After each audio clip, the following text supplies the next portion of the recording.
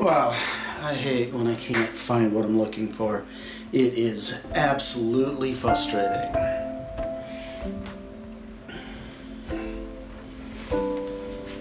I still want to look because I know I've just seen what I'm looking for not that long ago. It's big, it's clumsy, it's awkward, and I have no idea where it is. It is really, really, really. What's up, YouTube? Today, I'm going to stretch some canvases and take you along with me.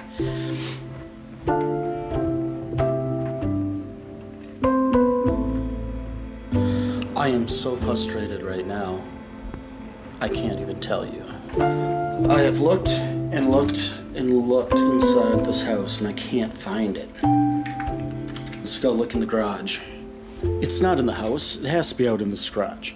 I just recently seen it somewhere and I don't know where.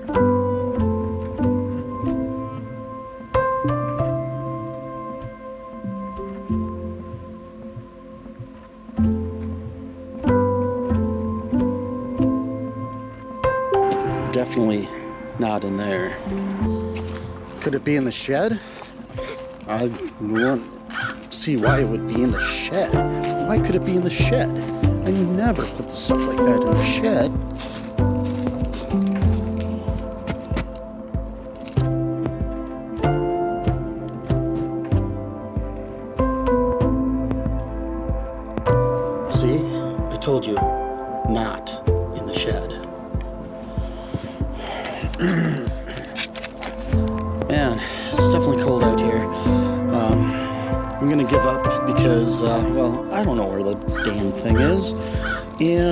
I can improvise with some other tools. So, let's go inside. Stretching canvases. I'm not building my own uh, stretchers today. We'll do that some other time. Just gonna use these little store-bought um, ones. Be fine for today. So, what you're gonna need, obviously, you're gonna need stretchers. So we've got, I've got a couple down in the shop and a couple up here. The other obvious thing you need is actual canvas. You can buy this stuff at the uh, art store usually. Sometimes uh, they can cut it to size, so if you want um, 56 inches wide, that's probably what some of the rolls are, or 60, um, and you need six feet of it, they can cut it for you. Other things you're gonna need. Gonna have to prime up the um, canvas. Recommend gesso. Seals it in. It's kind of a chunky paste. It is good um, for absorbing uh, so the canvas won't eat up your paint. You can use this on paper also and uh, you can actually use it in creation of art. Gesso. You're also to need a brush. This is just some stupid brush I picked up at the hardware store, a couple bucks. Um, it lasts forever if you wash it out real nice. You just need something to be able to grab a whole bunch of gesso and scoop it on. You need a stapler and some staples, uh, not endorsed. Uh, go with a heavy duty stapler. You're gonna have to get some scissors, cut the canvas or a knife, whatever. Um, instead of stapling, you can do the old fashioned way with the um, hammer and upholstery tacks. That is a pain. I would not recommend it. Spend the 20 bucks on a good stapler and do it that way. The other thing you're going to need is a T square. So you want to get the corners 90 degrees no matter what. Uh, I normally use uh, Carpenter's uh, square. Um, it's just piece like this and then a piece coming off it. Um, it's solid. Uh, there's no little give here this works, but it, having a longer piece um, to do that is so much better. If you don't have that, most rooms in your house, the corners are going to be 99.9 on a 90 degree angle. Um, maybe with a small variation, but you can use that to line up your pieces. Let's go and move everything down into the shop, and we'll see you there. Bye. Alright, welcome to the shop. Not much to say about it. I've got these, um, you can find these stretcher bars anywhere, uh, Fredrix. They're kind of cheap. Uh, they're a couple bucks, you know, three, four if you're getting into long ones. Um, they're pine. They will warp if you put too much pressure on these things. Um, I prefer making my own. I'm still not set up to do that in the new place, so and for small things, these are just fine. Uh, I won't recommend doing your larger canvases with these. First thing you want to do is obviously different sizes, so I just kind of put them all, together. You get them approximately 90 degrees. So that this is the uh, 10 side here. I'll just put the other 14 on. And you can see that these are a little too far in, so you just kind of mess with them. Easy peasy. Don't want to talk too much more about it. Put it on the table, and let's get uh, squaring this off, because it is definitely not square. Let's start working on getting this squared up. if you look right here, it's definitely not square. Usually I like to get the long ones as square as possible. I just kind of push them up and I move it to the next one and this one is not quite right either so that goes down a little bit. Make sure you apply pressure right there if you're doing it the T-square Again, it would be easier with the uh, carpenters. I don't like how this corner is a little gap, but it doesn't matter too much as long as it's square over the length. And I just keep going back and forth until I'm confident it is all square. There. Not too bad. So the edge is right here. You want to put it so it flips all the way over to cover the wood. Sometimes you go a little more, whatever, who cares.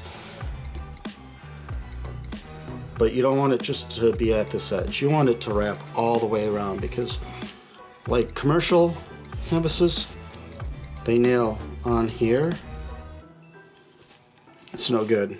To nail on here. So this side is pretty good. I can move that in here. And I'll be trimming here and on the bottom half. You can eyeball it at about right there. If you have a little extra, you can always trim it down. No big deal. And I'm using a pretty uh, thick duck canvas. Um, I used to use a little cheaper one, but he just tore and it's no good.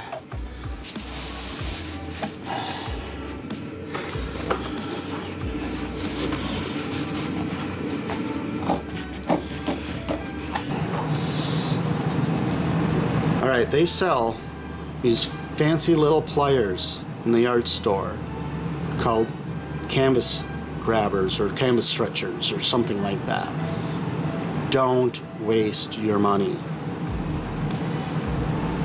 Because you can get this, you don't want this super tight right now. Because when you gesso it, the pores of the canvas will tighten up and it will be as tight as a drum after you gesso it. So we want it fairly tight, but hand tight is good enough. Uh, another another golden rule you want to abide by is I always start with the when you're stapling always start with the middle of the largest one and if if this is a bigger canvas you want to do a couple tacks right away here. Then you bring it down to this side, fold it over, a couple tacks here. And then you'll go to the short side. Tack, tack. And then you go in opposite corners. So you'll tack here, tack there, tack there, tack there. And on a bigger one, you'll do more tacks, but on the small one, you won't necessarily need it. You want to tack here, here, there, and there. And then we'll talk about how you tuck these corners because uh, there's many ways to do it. I have my way, and I think it works pretty slick. So let's just go in and do it. I, if you got them, use some safety glasses. Right, let's let's get going. I'm gonna just put a couple in here. Probably only need two, and this is gonna fucking.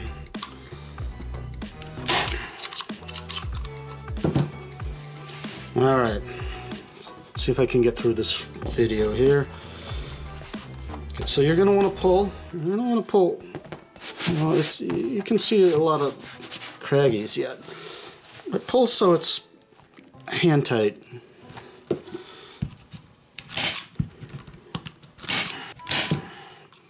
All right, let's spin it. Pull it tight again.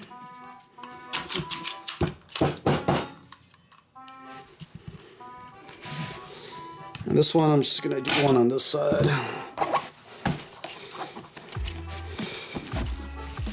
pull it tight.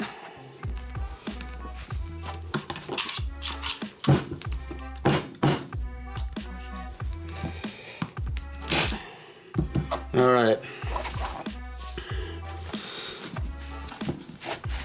Pull, staple.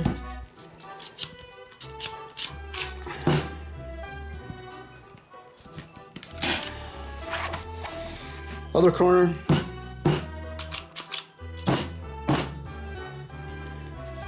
pull, staple. All right, it doesn't matter which uh, corner on the towel side you want to do.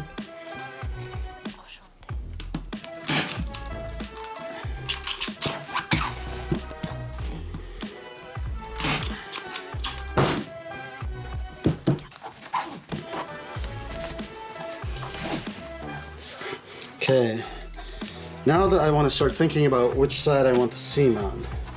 So you can either, this painting is probably going to be a portrait um, style, so that means up and down is how it's going to hang.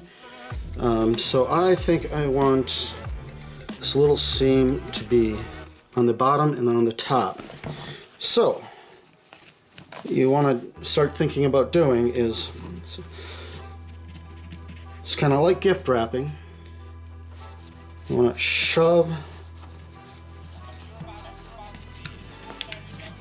this little piece in there.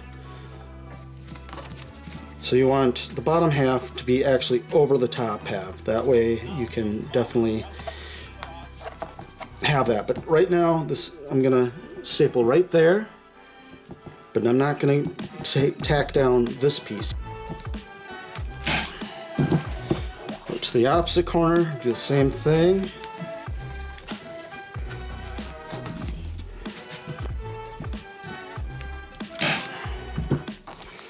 Back to this corner here.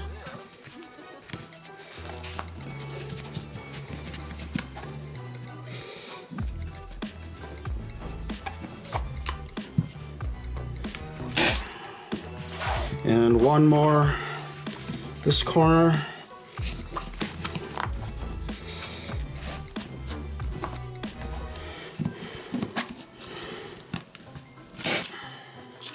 All right, let's really get this corner in here.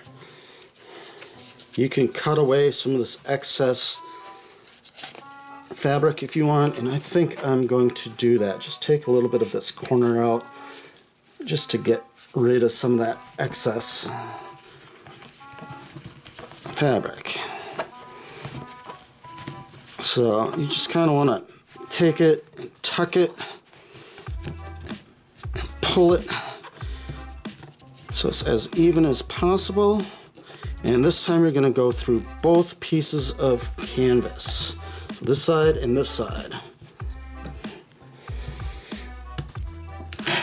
After I get that one down, I usually tack a couple more, but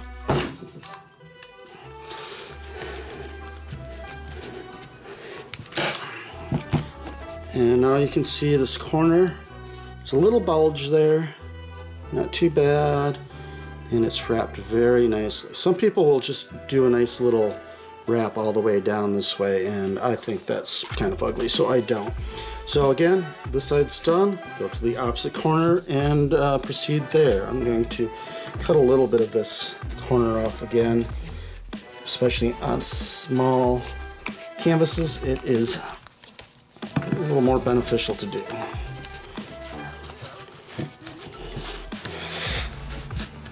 Let's pull that tight.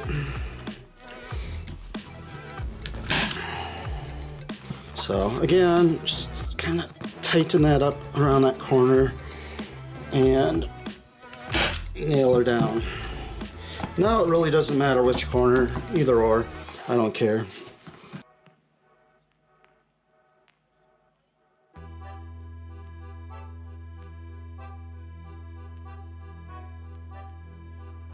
And if you feel like you don't have enough staples somewhere, just again, pull, grab, staple.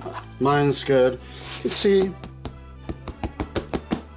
it's not like a tight drum, but uh, and you can see wrinkles yet, but that will all come out. So let's move to the next step. All gesso is a little different. Sometimes you want to stir it up, sometimes shake it, whatever works. It's all good. Uh, this stuff's pretty stable, so uh, I'm just doing it as is. So the key to priming canvas right, have a nice brush. Doesn't have to be expensive, but make sure it's not a brush that's going to lose a lot of bristles, because otherwise you'll get bristles in here and you have to pull them out and then re redo it. Next thing to keep in mind is you want to start in the middle. Start in the middle. We're going to do pretty much the same kind of configuration. Start in the middle, work your way out one way, work our way out the other way, work our way from this side to this side. What's going to happen is the canvas is going to start to tighten up in the middle. It's going to pull everything in, and as you work your way out, it's going to make this really taut. So let's do it. Let's do it. And then, of course, do one corner, other corner, other corner, other corner, just like we staple.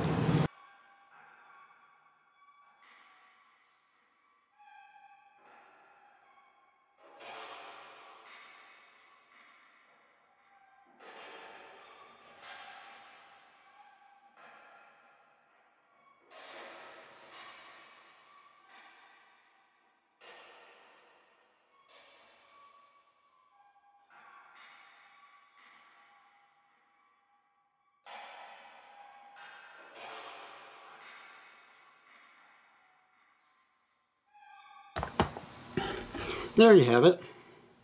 Perfectly done first coat. You will want to do more than one coat because you will not get every little little nick and cranny in here. Plus you want to build up a couple layers so the tooth of the oil paint or the acrylic paint would get into the gesso. Um, just watching paint dry. So, as soon as this is dry, light sand, do second coat, same kind of pattern. Start from the middle, work your way to the ends, and then do the corners. Let dry. If you feel like you need it, and you probably should, do a third coat. Three coats I feel are the best. It depends on the actual gesso you're using and the kind of ground you want. So make sure you experiment and figure out what's best for you and your art. Just because it works for me doesn't mean it works perfect for you. Just do it. Do you realize you're watching me paint a canvas white? That's what you just did. Subscribe. Okay, every time I try to make a video, this guy decides he wants loves. Good boys. Yeah, there's his famous tail, Rory's tail.